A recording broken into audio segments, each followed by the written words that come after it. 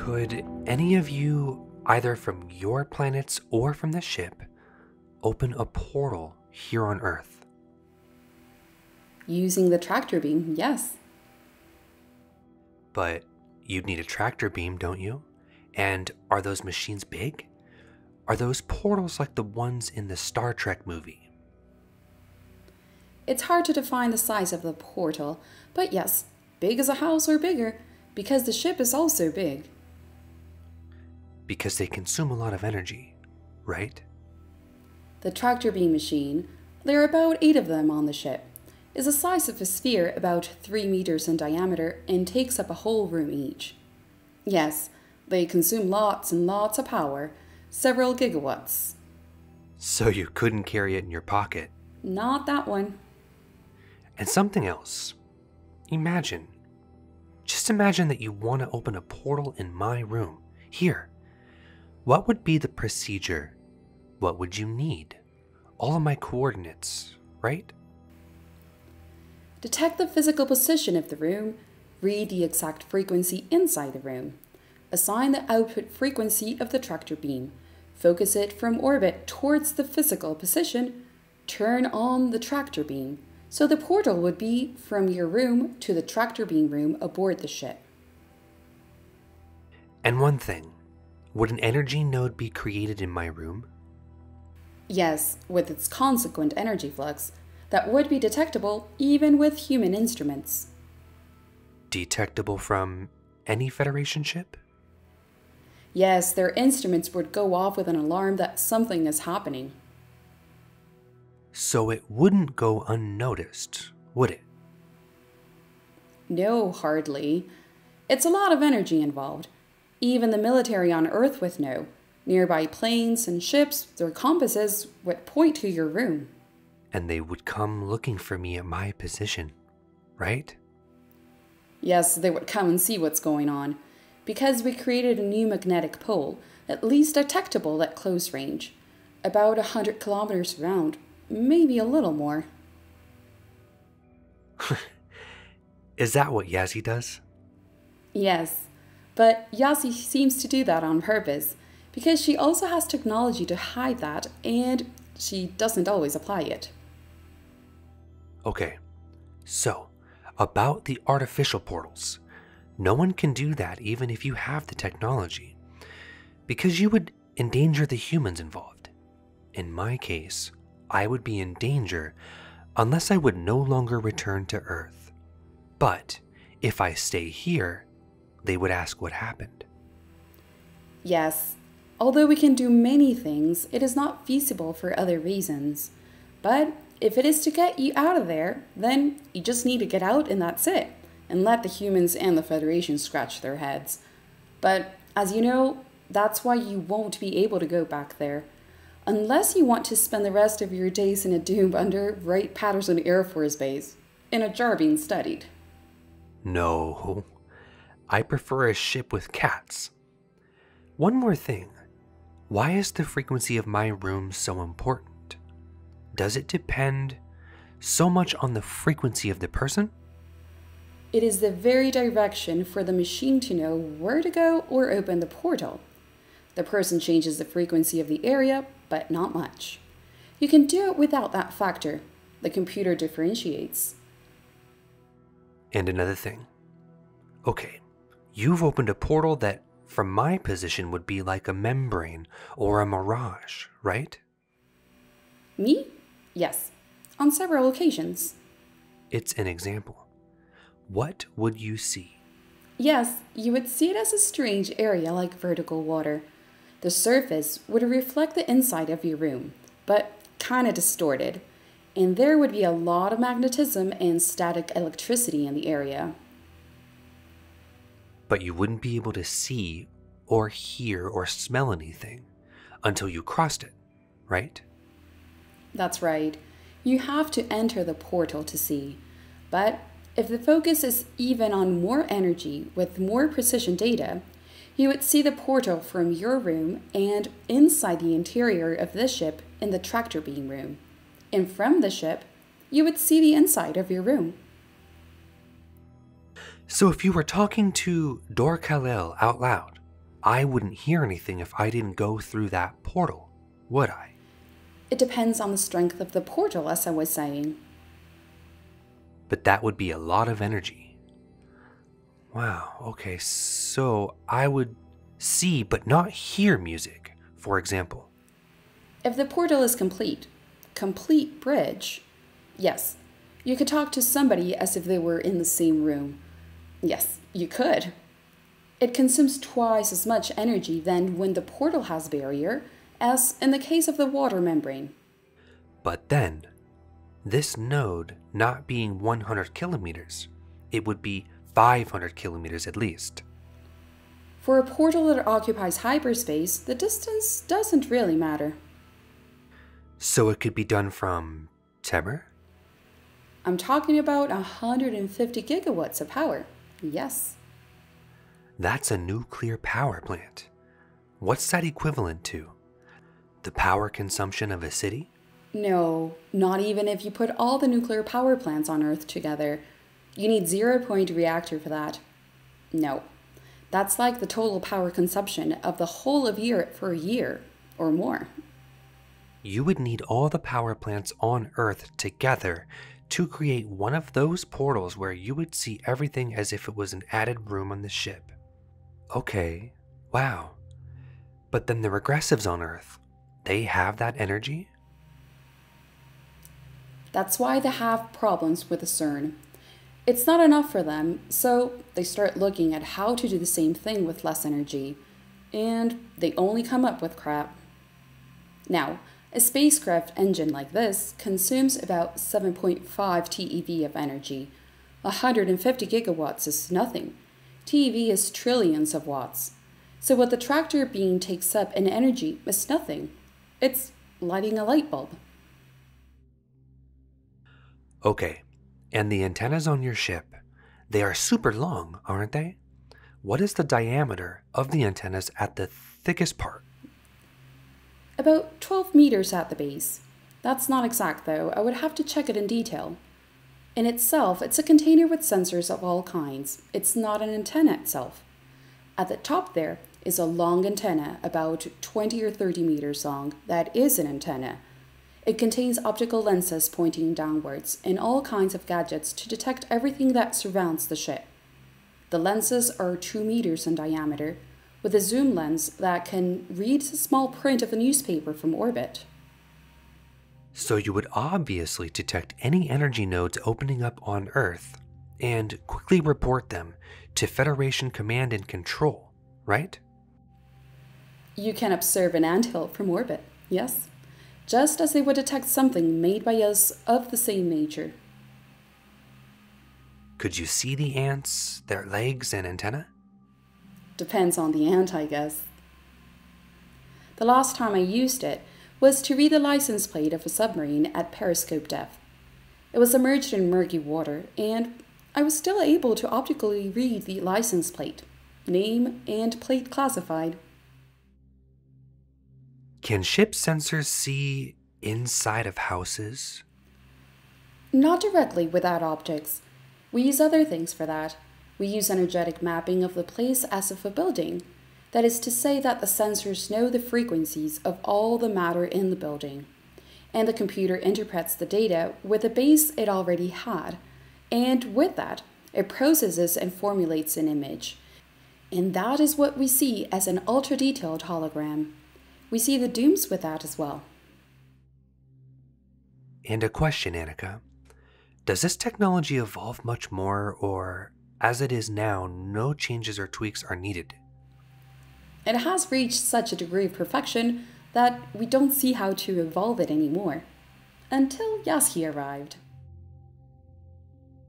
And another thing, you could also insert, as we said, 3D objects in my room.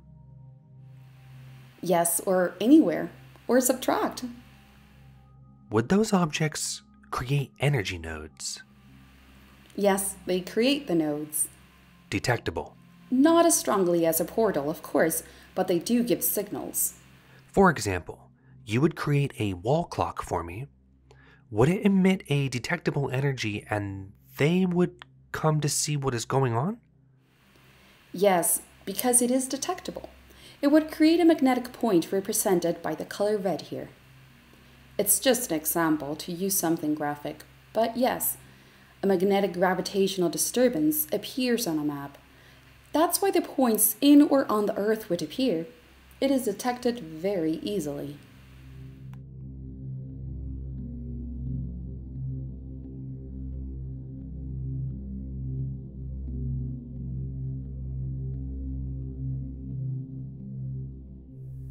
Originally in Spanish, between 2019 2020.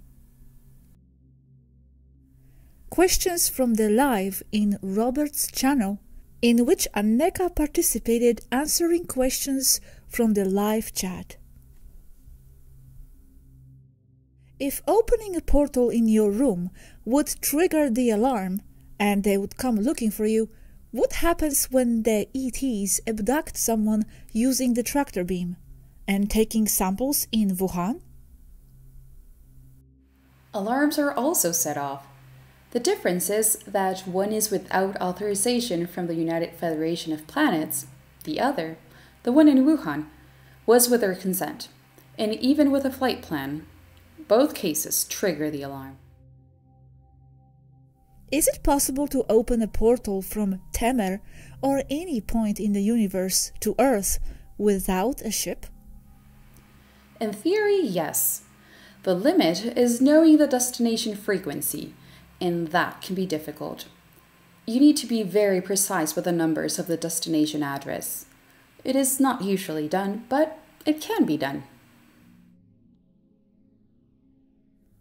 Does the Federation notice when a star seed travels in the astral, as well as when someone wants to use a portal?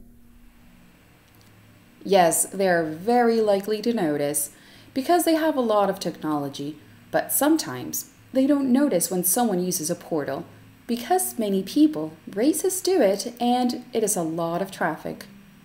As for astral travel, it is much more difficult for them to detect. Yes, it is possible for them to notice, but usually not, because the frequency of each soul in the astral not only varies a lot, but it changes as a person wants it to. Does the physical body have to be energetically prepared physically to be picked up by the beam? Tractor beam? It is not necessary. Anyone at any time can use a portal made by a tractor beam. Are the muon neutrinos described correctly in terrestrial physical science, or are they wrong in their description? Their human description is wrong. On Earth, with human science, you can only see 60% of its qualities as an energetic entity, particle, wave of energy, both at the same time, just like light is wave and photon at the same time. What races have time travel capabilities? Any interstellar race that manages manipulation of its frequencies in their ships has the time travel capability. Since, technically speaking, when a ship enters hyperspace, it is essentially time travel. Same principle. It takes as much work for a ship to go from point A to point B in the same timeline as it does from side A to side B of another timeline i.e., time travel. The problem is not being able to technically time travel, but the moral and ethical implications of doing so. And that does require a lot of training, and not everyone is allowed to do it. That is why it is kept as something exclusive to the elite sand clock squads.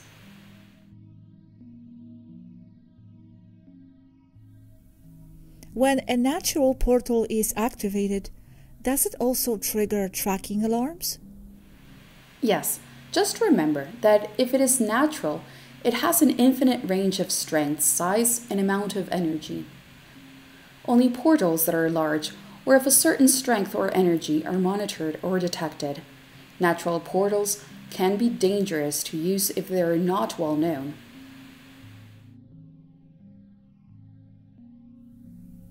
If I wanted to travel to a past life, does the portal allow that? If the portal is well designed with the right data, yes, it could. And it has been done. It is quite common. How does the organic portal work? Organic portal is a person or an empty body that is used by one or more souls. It works because those souls are concordant in frequency with that of the physical body, same frequency. They enter it because they wish to do so, just as if it were their own body. In itself, strictly speaking, every biological body is an organic portal for a soul, just that usually and ideally, it is only one soul who uses that body. It is not the same subject, even if the name portal is used. What does a human need to open a portal to move inside the planet? Is it possible? A machine is needed to make the portal. It is an electromagnetic energetic toroid or frequency controlled by the computer to change the frequency of everything that enters the machine to the frequency of the destination. Is that why, before you get paralyzed in your sleep, you feel static? Yes, it can be because of that. Being paralyzed, sleep paralysis, abduction, yes, they use mainly tractor beam based portals. Is our sun a portal? Yes, it is a portal, like all suns. It is exit entrance. Black holes are only entrances. The openings are the sunspots. Can humans open a portal involuntarily? How can we open a portal at will? If you have a lot of control over your energy in a very high frequency, it is possible to open a portal by going into a trance. Few do, but it is not impossible. What happens if I enter a portal? Here in Peña de Bernal, Mexico, they say there is a big portal. Yes, I confirm. Gray portal in Peña de Bernal, Mexico. A team from here was recently measuring it. Peña de Bernal, apparently, that was a giant tree. Is it possible to enter a portal in a dream and be aware of it? Yes, especially in a lucid dream. It can be done. It is actually how it is done also from 3D. It is how you can try practicing lucid dreaming. What sensations do you experience when you are inside a portal? Sometimes just static, sometimes nothing. You don't feel anything, just a little dizziness, as some people have reported.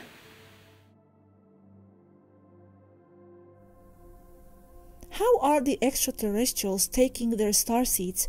By tractor beam or by other means? Portals? Only by direct permission of those star seeds. Sometimes by pre incarnation agreements, either by portal or tractor beam, or when they disincarnate.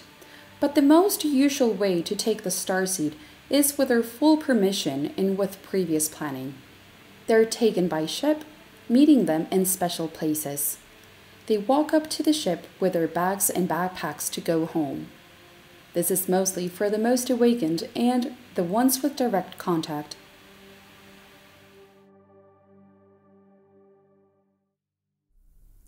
When you sleep and dream, do you open a natural portal to another density or place? You could say that you open a portal to the astral as a rhetorical sense, but rather it is a change of density of your soul and perception.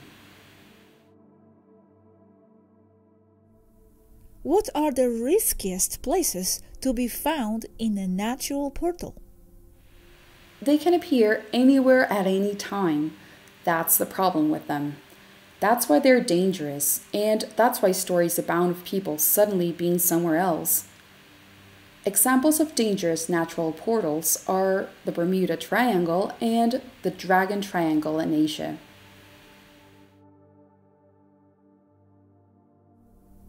Do you know the Uritorco area in Argentina? Is it an area with portals?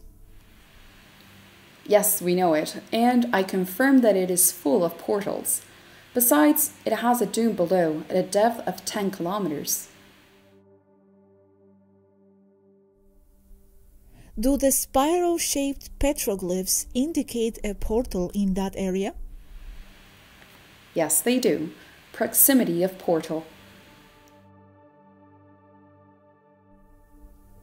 If time is not the same in 3D as in 5D, what time would I travel to if I enter a portal? To the time of the destination and how it works in the destination, depending on the frequency of that destination. Can a natural Earth portal be closed by someone, terrestrial or non terrestrial? Yes, it can be closed. They're closed by imposing, with a tractor beam, from another frequency in destructive range to the frequency of the natural portal in question. Yes, they can be closed artificially if you have a tractor beam. Does telepathy work between people on different sides of the portal? Yes, telepathy works across all planes, dimensions, portals, and distance does not affect it. Some races, like the Ummites, do say that distance weakens their telepathy. That is their perception. Other races, like the Taygetans, among others, have no distance limit for their telepathy. Since telepathy is something that does not depend on the physical plane, it is something astral, and therefore it reaches everywhere equally. Thank you very much. Many hugs and much love and affection to all. Aneeka of Temmer.